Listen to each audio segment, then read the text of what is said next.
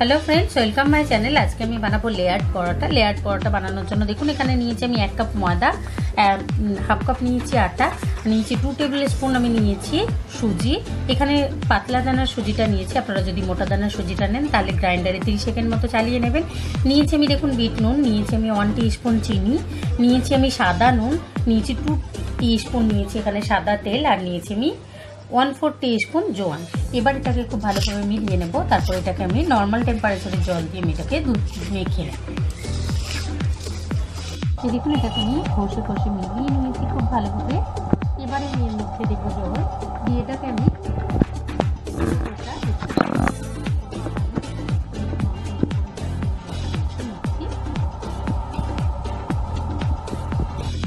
মেখে নিয়েছি, এটা এখন একটুখানি চটচটে মনে হচ্ছে, কারণ এর মধ্যে সুজি আছে। সুজিটা জল টেনে নেবে।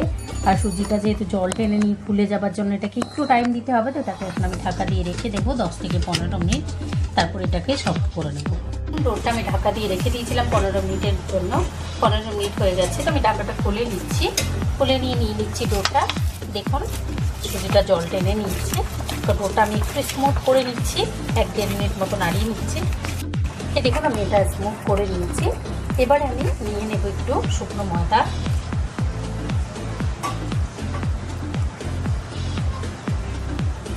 নিয়ে এটাকে আমি এখন লেচি করে নেব। লেচি পাকিয়ে নেওয়ার পরে এটাকে আমি একটু নিয়ে নিচ্ছি, এরকম করে দু তিনটে লেচি আমি করে নিচ্ছি।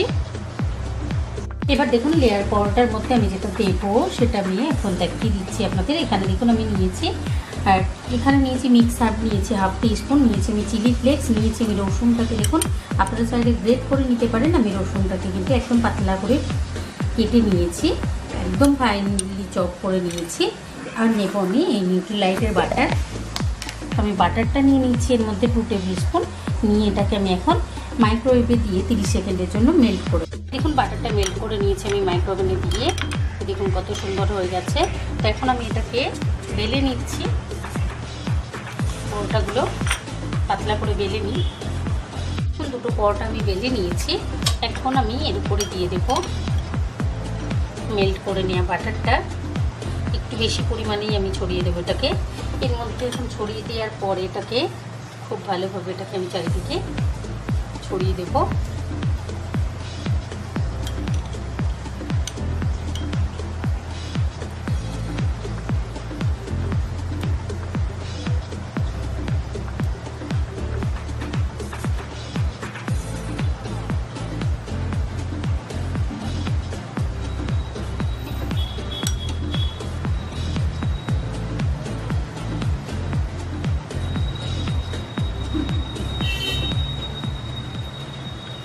দিয়ে দিচ্ছি আমি এখন ধনে পাতা করছি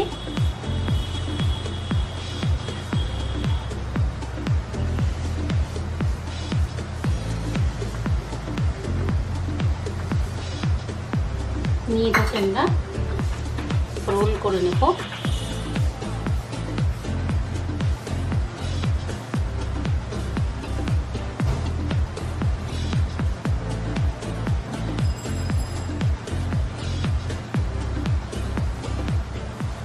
রোল করে নেওয়ার পরে এটাকে আমি একটু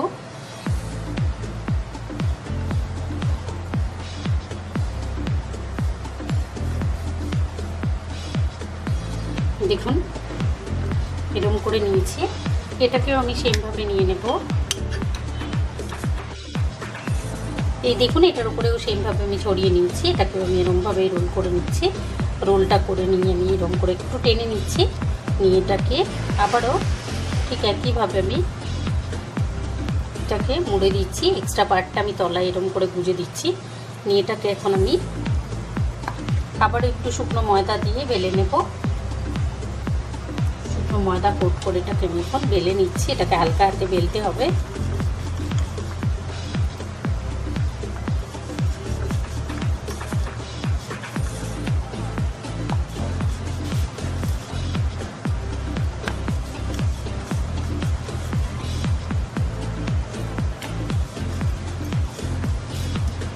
এভাবেই আমি এখন আবারও নিয়ে নিয়েছি আমি এটা। নিয়ে এটাকে আমি হালকা হাতে বেলে নিচ্ছি। দেখুন, বেলে নিয়েছি আমি। আপনারা অ্যাকচুয়ালি রোলটা করার সময় যত পাতলা করবেন, মুড়বেন লেয়ার ততগুলো হবে। তো আমি দেখুন, বেলে নিয়েছি এটাকে। চলুন আমরা এবার এগুলোকে ভেজে নিই। এই দেখুন, নিয়ে নিয়েছি আমি একটা ননস্টিকের তাওয়া। প্রথমে আমি এর উপরে এমনি দিয়ে দিচ্ছি গ্যাসের ফ্লেমটা অন করে নিয়েছি। এটা একটু ওই আসলে উপরের কালারটা চেঞ্জ হলে তারপরে এটাকে আমি উল্টে দেবো। এখন কালারটা চেঞ্জ হয়ে আসছে, তো আমি এখন এটাকে উল্টে নেব। দেখুন, উল্টে নিলাম। উল্টে নিয়ে এবার চাইলে আপনারা সাদা তেল দিয়ে ভাজতে পারেন অথবা বাটার দিয়ে ভাজতে পারেন। আমি যেহেতু পর্যাপ্ত পরিমাণে বাটার দিয়েছি, যার জন্য আমি অল্প একটু সাদা তেল দেব। একেবারে কয়েক ফোঁটা।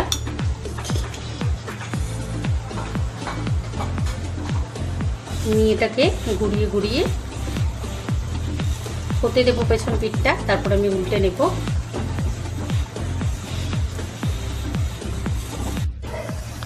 দেখুন, এটা আমি এক দেড় মিনিট এরকম করে করে নিয়েছি। দেখুন, বাটারটা আস্তে আস্তে মেল্ট হতে শুরু করেছে আরও ভেতর থেকে দেখুন, উপরটা একেবারে তেল তেলে হয়ে গেছে, তো আমি এখন এটাকে একবার উল্টে দেখে নিচ্ছি। দেখুন, সুন্দর হয়ে গেছে, তো আমি এখন এটাকে আবারও চেপে চেপে ভেজে নেব। উপর থেকে আমি দিয়ে দিচ্ছি একটুখানি বাটার দিলাম আমি মেল্টেড বাটার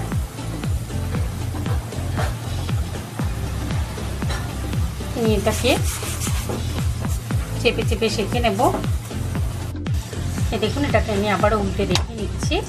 দেখুন, এটা আরেকবার আমি উল্টে নেব, কারণ এই দিকটা পুরোপুরি সুন্দরভাবে হয়নি। একটু লালচে স্পট পড়লে তারপর আমি তুলবো।